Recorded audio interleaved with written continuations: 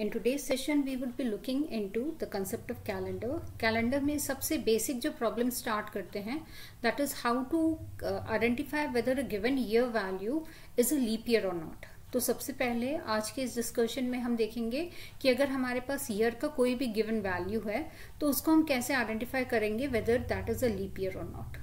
Now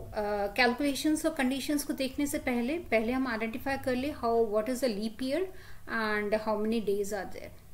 तो सबसे पहले हम रेगुलर ईयर की बात करते हैं। अगर हम रेगुलर या नॉर्मल ईयर अगर हम कोट करते हैं तो रेगुलर और normal year has 365 days. Okay? And a leap year has 366 days. This is the basic difference between a normal year and a leap year leap year has one extra day okay leap year पे एक extra दिन होता है as compared to a normal year so this is the basic difference between a normal year or a regular year and a leap year conditions देखने के लिए सबसे पहले एक चीज़ हम और डिफाइन कर लेंगे that what is a century year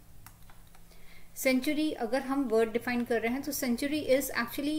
represents hundred तो if we have any year value which is a multiple of hundred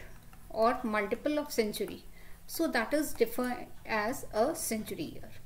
no let's take a few examples ताकि हम सबसे पहले, क्योंकि हमारे कंडीशंस ही एक्चुअली डिफरेंट होंगे अगर हमारा नॉर्मल ईयर है और अगर हमारा सेंचुरी ईयर है। तो suppose if we take a few examples to identify कि हमारे वो सेंचुरी ईयर्स हैं कि रेगुलर ईयर्स हैं। ओके सो सपोज़ अगर हमने सबसे पहले लिया 2004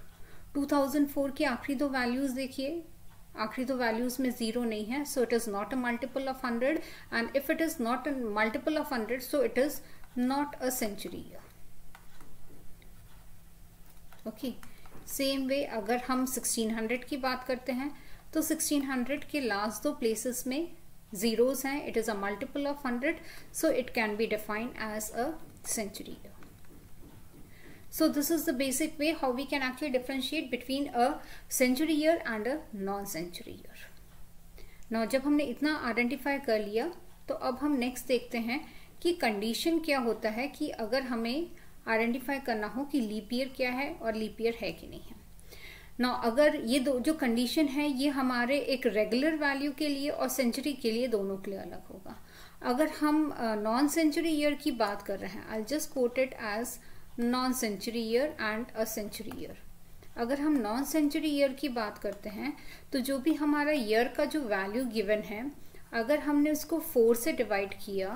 and if the remainder comes out to be zero so, that is a non century year condition. Same way, अगर हम सेंचुरी ईयर की बात करते हैं तो अगर हमारा सेंचुरी ईयर की कंडीशन फुलफिल्ड है तो उस केस में that value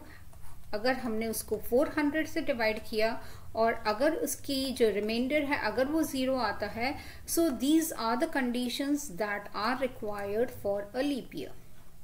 I just repeat it क्योंकि इसी के बेसिस पर हमारा आगे का पूरा कैलकुलेशन होगा। हम सबसे पहले आइडेंटिफाई करेंगे क्या हमारा जो गिवन ईयर है, वो सेंचुरी ईयर है कि नॉन सेंचुरी ईयर है। अगर हमारा जो गिवन वैल्यू है, अगर नॉन सेंचुरी ईयर है तो उसको हम फोर से डिवाइड करेंगे और अगर उसका रिमाइंडर ज़ीरो आ जाता है तो that means that is a leap year और अगर हम सेंचुरी ईयर है, हमारा जो वैल्यू है, अगर वो सेंचुरी ईयर है तो then we are suppose to divide that value by 400 and in case the value comes out to be zero या रिमाइंडर हमारा ज़ीरो आता है it means it is a leap year तो सबसे पहला हमारा कंडीशन है कि हम उसको आइडेंटिफाई करें कि whether a century year is it और it's a non century year उसके अकॉर्डिंग हम कंडीशन को अप्लाई करते हैं.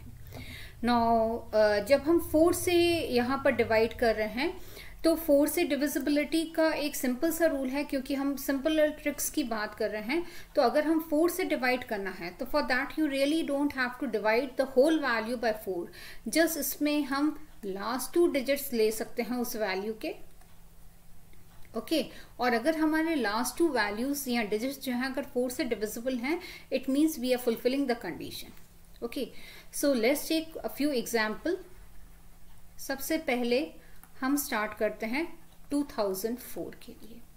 Now as I told you सबसे पहले हम आइडेंटिफाई करेंगे whether it's a century year और अ नॉन सेंचुरी ईयर अगर हम 2004 की बात करें, इसके आखिरी दो डिजिट देखें तो it's not a multiple of hundred and if it is not a multiple of hundred so it is a non century year हम नॉन सेंचुरी ईयर को जो है, हम एन सी वाई करके रिप्रेजेंट कर देंगे और सेंचुरी ईयर को सी वाई करके। तो सबसे पहले हमने आइडेंटिफाई कर लिया that it is a non century year अब नॉन सेंचुरी ईयर का कंडीशन क्या है? You have to divide that value by four तो हमने क्या किया? इसको डिवाइड बाय फोर किया. No what is the shortcut trick as I have discussed हम इसको रिड्यूस कर देंगे एज ज़ीरो फोर क्योंकि ये हमारे फोर की डिविजिबिलिटी के कंडीशन को फुलफिल करता है. तो अगर हमने लास्ट टू डिजिट्स ले लिए and if we divided by zero four and if the remainder comes out to be zero definitely zero four को अगर हम फोर से डिवाइड करेंगे तो इसका रिमाइंडर क्या आएगा? ज़ीरो आएगा। और अगर रिमाइंडर ज़ीरो है तो this is fulfilling the condition of a leap year so yes this is a leap year another example, suppose we talk about 1600 so first, let's identify whether it's a leap year or, it's a century year or not. Last two values देखिए it's a multiple of hundred and if it is a multiple of hundred so it is a century year ना if it is a century year what we are suppose to do 1600 को हम 400 से divide करेंगे 400 से divide करेंगे zeros cut जाएंगे four four sixteen आ जाएगा remainder is coming out to be zero so yes it is a leap year taking a last example suppose we talk about 1974 okay okay, 1974 को अगर हम check करें आखिरी दो digits देख रहे हैं हमने लिखा 1974 we take the last two digits it's not a multiple of hundred और अगर not a multiple of hundred so it is not a leap oh not a